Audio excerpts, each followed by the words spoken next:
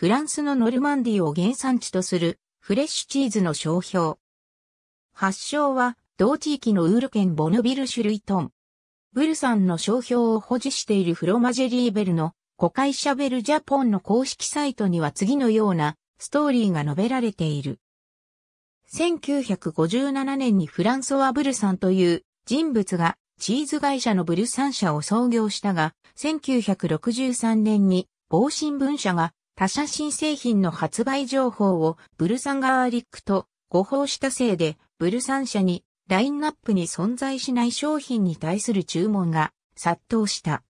これに対応するため、加熱せずに冷却した状態のままアルミ包装する製法を編み出してブルサンガーリックハーブを発売し、この製法とパッケージが好評を博したという。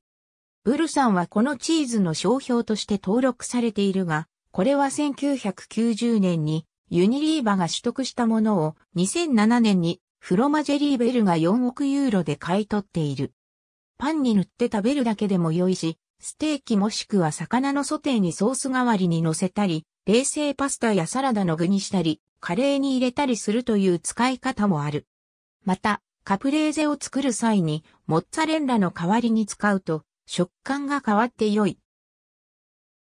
日本では1996年より正式販売が開始されたが、フランスから輸送する間に、風味や食感が損なわれること、欧米での販売量が日本の顧客に適さないことなどから、ベルジャポンは2014年に、四つ、養乳業と委託生産を契約し、物流と商品サイズ及び価格を見直した形で、同年9月以降は、日本国内での製造販売に転換している。